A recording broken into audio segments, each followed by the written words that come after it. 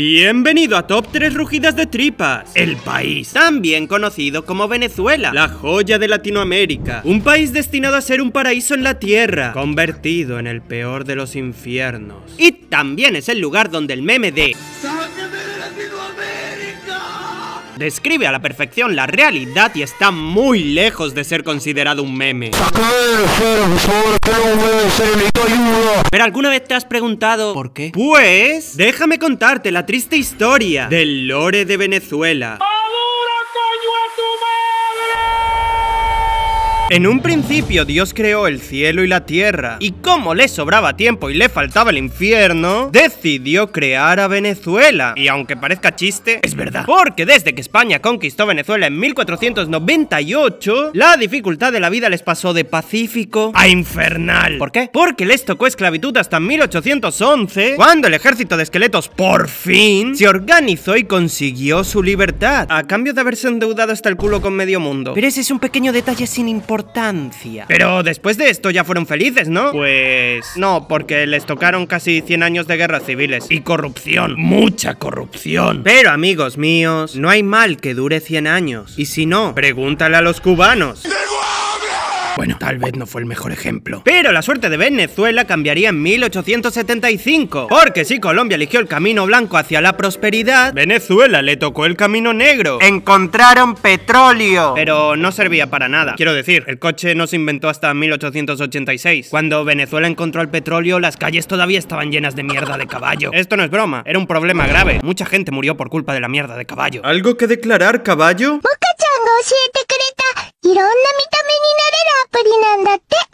Y por este problema es que Venezuela seguía siendo pobre. Pero todo cambiaría en 1917, cuando por fin se empieza a vender el jugo de dinosaurio por todo el mundo. Y ahora sí, se viene la fiesta. Bueno, en realidad Venezuela seguía siendo pobre. O al menos los venezolanos. Porque mientras algunos no tenían ni para comer, otros se limpiaban el culo con bolívares. Bueno, ahora no vale mucho el bolívar y también te sale más rentable limpiarte el culo con él que comprar papel higiénico. Pero en esa época sí que tenía valor. Y por eso en esta época Venezuela sería conocida como la Crypto Bro de Latinoamérica. Pero, ¿por qué? Muy fácil. La economía de Venezuela dependía al 100% del precio del petróleo. ¿Qué significa esto? Si sube el precio del petróleo...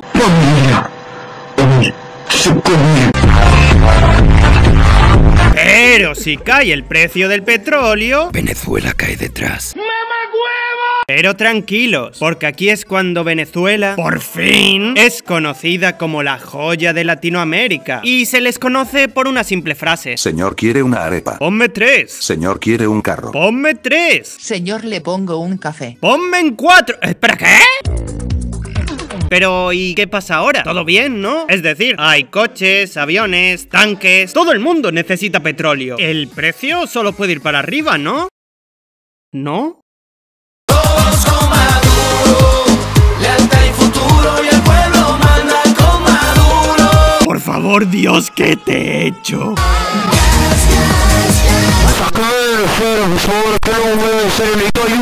1970, año en el que el precio del petróleo cae. Y como ya dije, Venezuela cae detrás, provocando que en la década de los 80 ocurran muchas, muchas protestas. Siendo la más potente, el Caracazo, de 1989, en el que a 276 personas les pasó lo que le pasa a todo el mundo que intenta mejorar su país en Latinoamérica. Bueno, en realidad se dice que fueron más de 3.000, pero las cifras oficiales son 276. Y esto me hace pensar que... Muchachos, creo que después de este vídeo me van a silenciar. Ah, mentira, ya escapé de lata. Devuélvanme Latinoamérica. Perdón, continuemos. En 1992 entra en escena el número uno, la fiera, el mastodonte, el galáctico de galácticos, amigo de Maradona, Hugo Rafael Chávez Frías, que dio dos golpes de estado, de los cuales fracasó en dos golpes de estado y terminó en la cárcel. Pero lo soltaron dos años después. Y en 1998 gana las elecciones, convirtiéndose así en el admin supremo de Venezuela. Pero Chávez, teniendo un objetivo claro, hacer lo imposible posible. Lo que nunca en la historia había funcionado, quería que funcionase en Venezuela. Porque su objetivo era hacer grande a Venezuela y que ésta mejorase a través del socialismo. Sinceramente, viendo el resultado, no sé, creo que un autobusero lo hubiera hecho mejor de presidente. ¡Oh, venga ya! Ya que estamos, ¿por qué no mejor poner un burro? Oh, por favor, de verdad. Esto ya parece que Dios cuando ve que le va mínimamente bien o que no le va horriblemente mal a Venezuela, dice... Con que ahora en Venezuela hacen tres comidas al día. Ni modo, toca otro nerfeo para Venezuela. Bueno, creo que antes de terminar, va siendo hora de decir algo bueno de Venezuela. O sea, algo habrá, ¿no? Algo tiene que haber. Hay algo, ¿verdad? Venezuela es el mejor país del mundo. ¡El mejor del mundo! Sean todos bienvenidos a curiosidades extremadamente curiosas sobre Venezuela.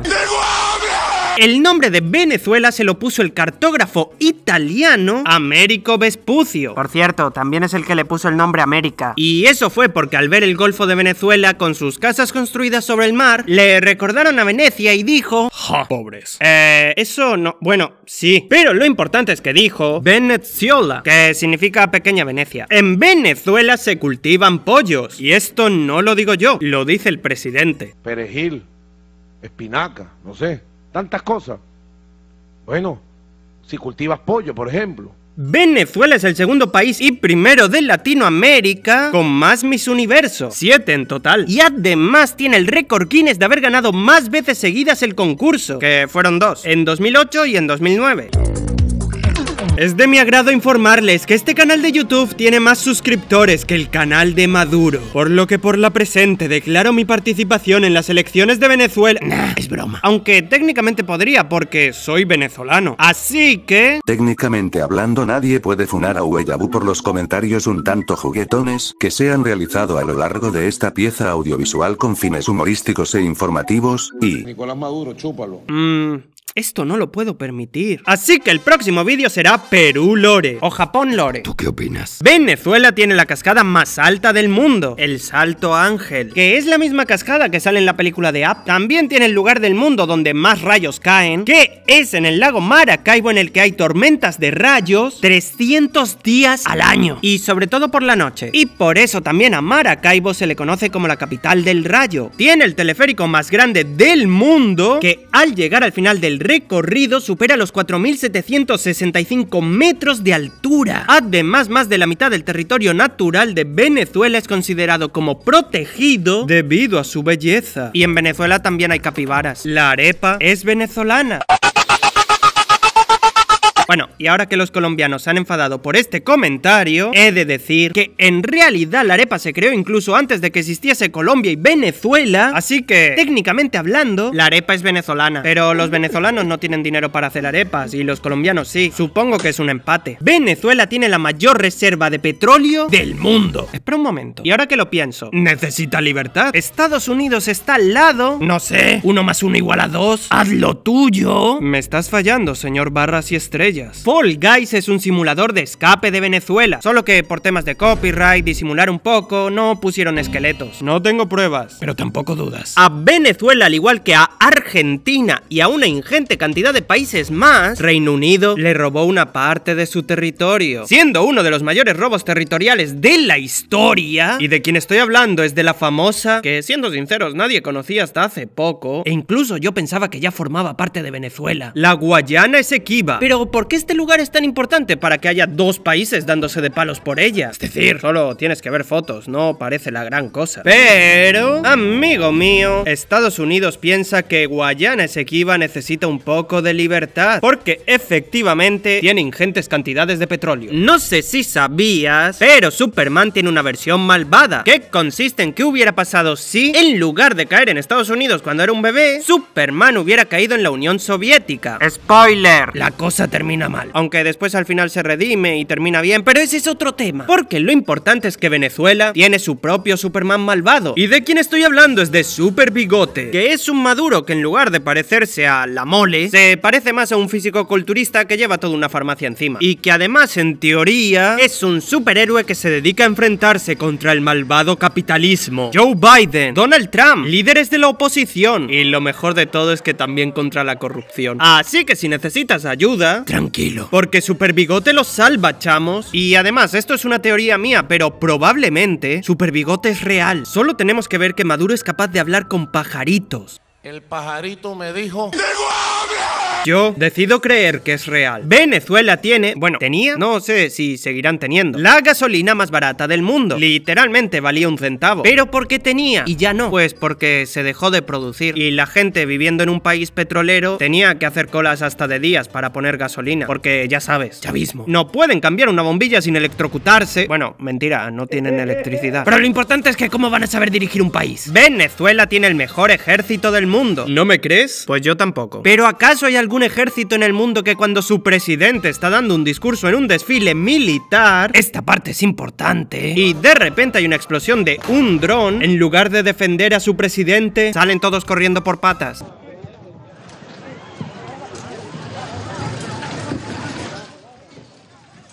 Siendo sinceros, no les puedo decir nada. No sé, ¿de verdad hay alguien que daría su vida por Maduro? ¿Qué?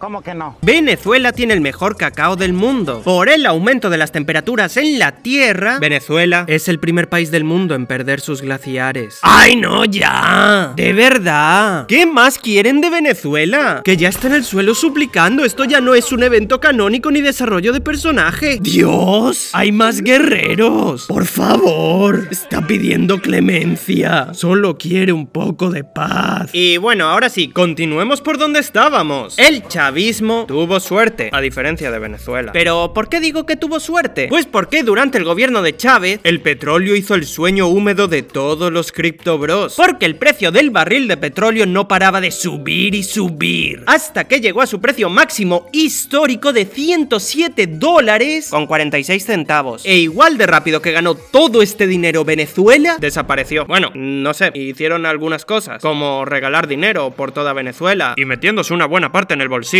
porque amigos míos, Chávez hizo un milagro económico. Teniendo el sueldo de un político, Chávez y su familia se convirtieron en las personas más ricas de Venezuela. Y bueno, la cifra exacta es difícil de saber, pero por ejemplo, su hija actualmente tiene más de 4.200 millones de dólares. Y obviamente los desconfiados se preguntarán cómo lo consiguió. Si es una persona que tiene la friolera de cero días cotizados. Bueno, siendo sinceros, creo que tú y yo sabemos cómo lo consiguió. Y bueno, ya que estamos hablando de dinero, se estima que el chavismo, supuestamente, se robó más de 300 mil millones de dólares. Pero la felicidad no es para siempre. Y tristemente, sarcasmo, en 2013 a Chávez lo desconectaron del servidor. Probablemente presionó el botón de maduras calientes a 2 kilómetros y le dio cáncer. Se fue al otro barrio, al de abajo, para ser exactos. Lo bueno, hubo elecciones y en teoría ganó el sucesor de Chávez, el autobusero, Maburro. Ah, no, perdón, espera, leí mal. Maduro. Quería decir Mabu eh, Maduro. Y aquí, amigos míos, es cuando todo se termina de ir al diablo. Porque el precio del petróleo se hunde más rápido que el Titanic. Y como dije, Venezuela va detrás.